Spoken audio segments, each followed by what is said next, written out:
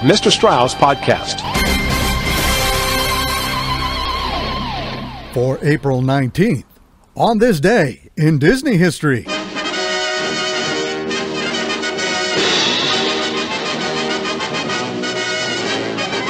On this day in 2010, Major League Baseball properties and Disney consumer products unveil 36 different designs of MLB themed Mickey Mouse collectible statuettes. Pretty exciting stuff, huh? So is Mickey Mouse. Also announced related apparel and merchandise in celebration of the 2010 MLB All Star Week festivities, which will take place July 9th through 13th at Angel Stadium in Anaheim. Well, I can't wait to get started. In addition to the statuettes, starting the next month, fans can obtain a wide variety of merchandise and apparel featuring Major League Baseball and beloved Disney characters, including hats, t shirts, sweatshirts, drinkware, pins, throw blankets, beach towels, and so much more.